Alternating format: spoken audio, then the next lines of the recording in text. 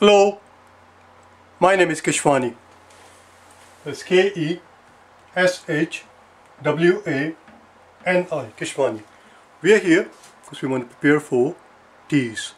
We have been solving math problems, TEAS math problem out of this book here, the official study manual for TEAS 2021. If you do not own this book already, purchase one immediately. You're going to need it. Today, we'll do some practice problems dealing with ordering numbers, either ascending order or descending order, dealing with uh, that concept. Some practice problems that you will find on page number 144. Turn to it.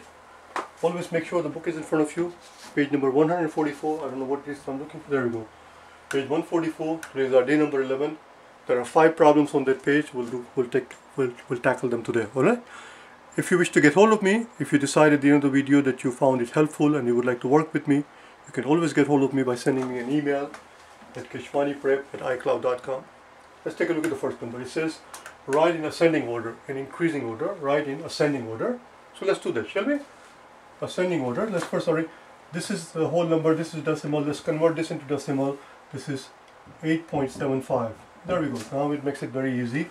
Negative 8 is the smallest one which is smaller than, that comes, this guy comes next, this is, is 0.43, this is 0.75, so 8.43 is the next one, and that is greater than 8.75. There we go, they're in ascending order, from the smallest to the largest, negative 8.8, 8.43 and 8.45. And that's all it was, just to convert this 3 quarter into decimal so you can see immediately this, this is 75, this is 43. Number 2.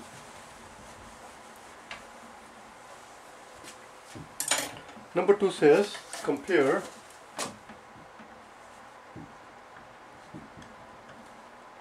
nine point one four versus nine and one sixth.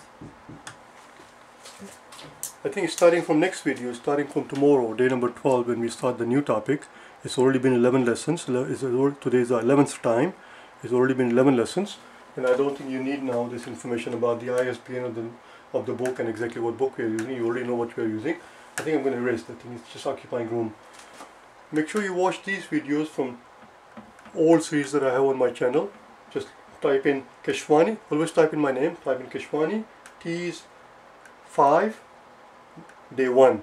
There are 80 videos dealing with the 5th edition of TEAS and as I told you the first day of the course math is math. Math does not go out of fashion. So you will still find them useful. You will still find them beneficial. Let's see what we can do here. There are two ways we can go about it. One way is to simply understand that uh, 0.14, you see what we have to understand here is that this is 9 and this is 9.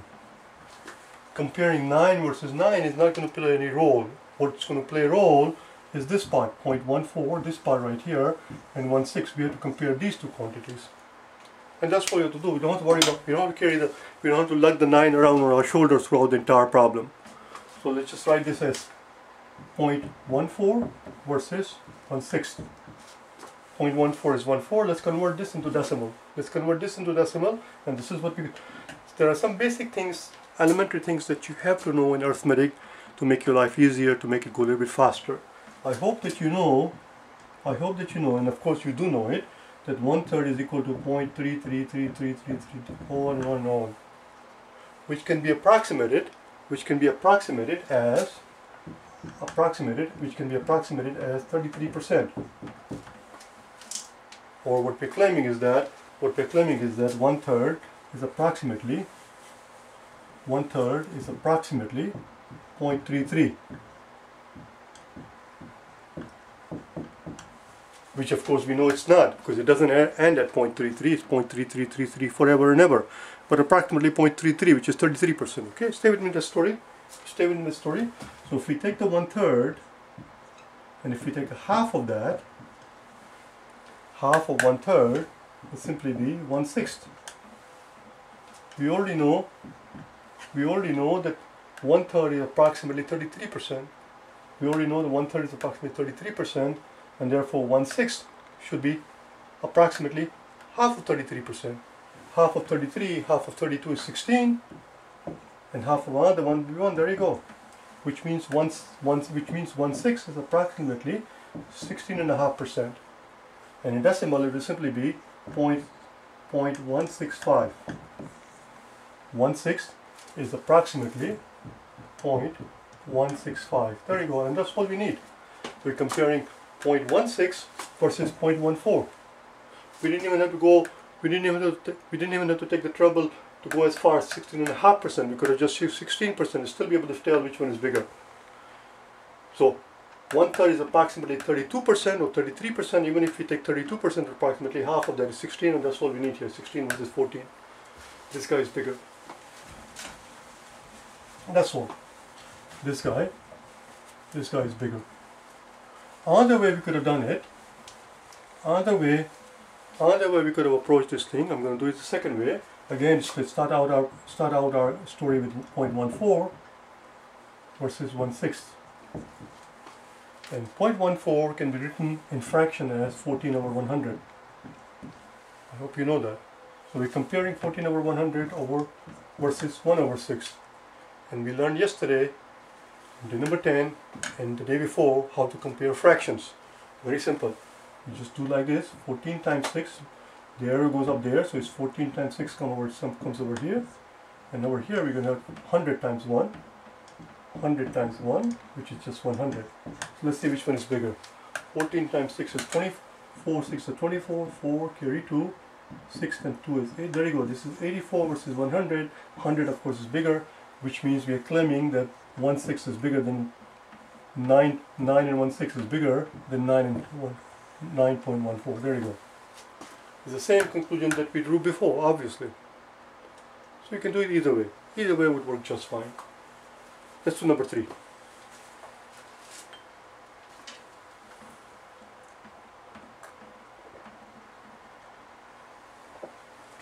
Let's do number three.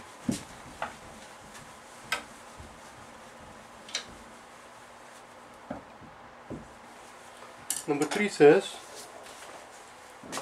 arrange in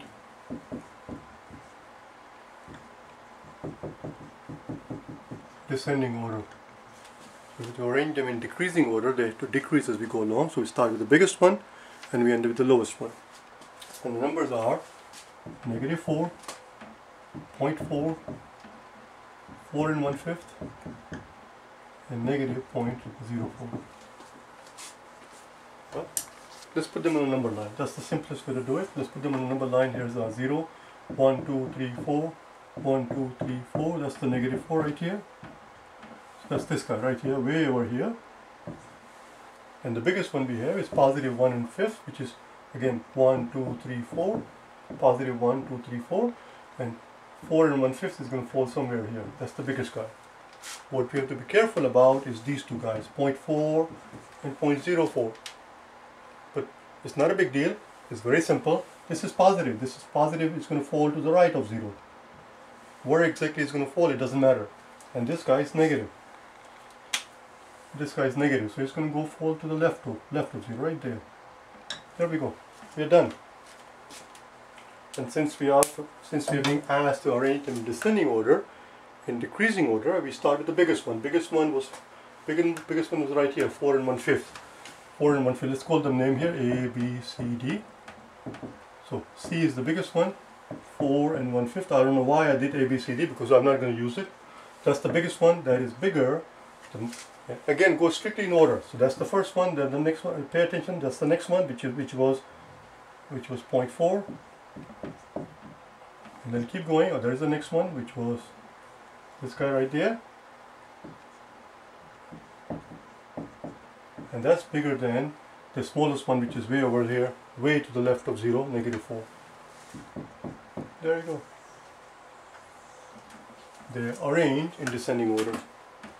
If they had asked us to arrange them in ascending order, it would have been just the opposite order. That's all. That's all there is. Let's do the next one. Number 4.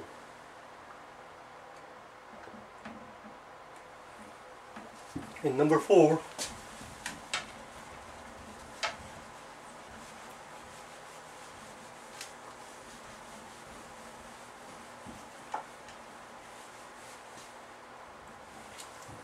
in number 4 they're asking us to arrange in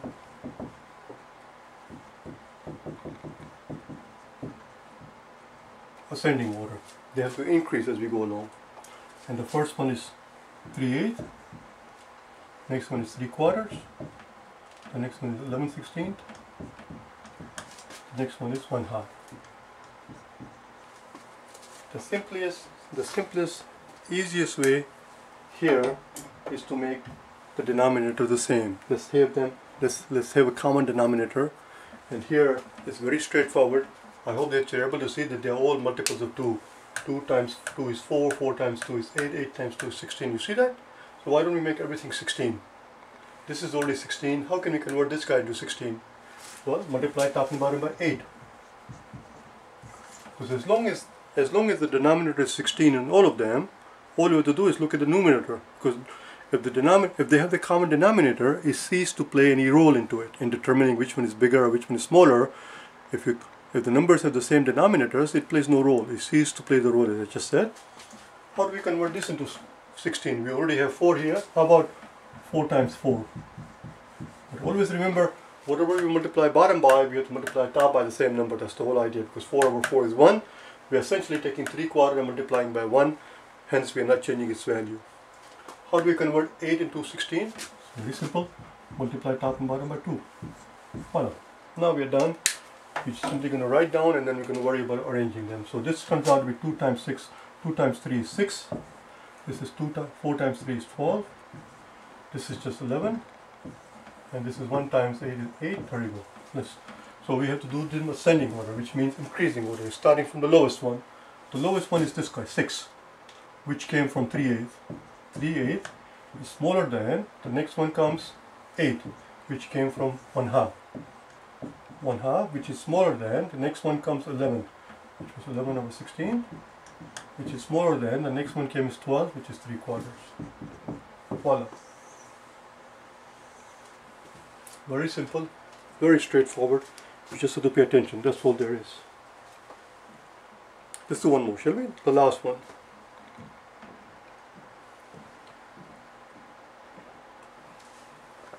Number five.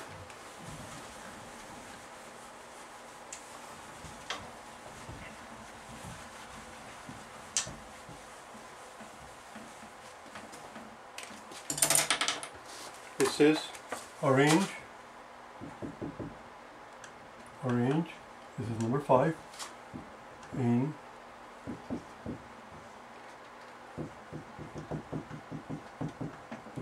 descending order. In other words decreasing order starting from the largest and going to the lowest decreasing order. And we have negative 1 and 3 fifths negative 1 and 4 fifths negative 1.8 and negative 3 quarters. Okay. So first thing first, let's convert all of them to decimal. This is already in decimal, this is already in decimal. It's 1.8 which is which is same as 1.1.80. This is 1.45. This is 3 quarter, uh, 3 fifth rather.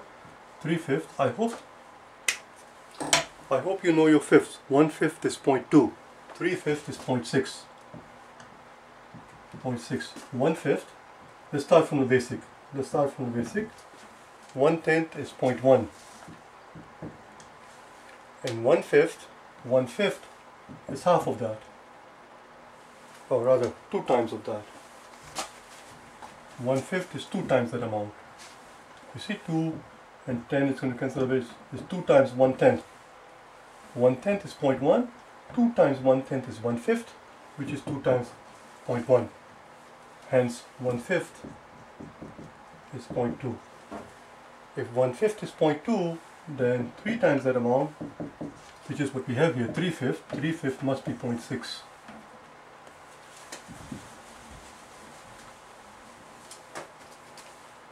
And they're all negative, so we have to pay attention there. Negative 0.45, negative 0.80 and negative 1 and 3 quarter which is 0.75. Now where they will get you here if you're not paying attention is if you forget the fact that they are all negative if they were all positive if they were all positive, then of course 80 would have been bigger than 75 and 75 would have been bigger than 60 and 60 would have been bigger than 45.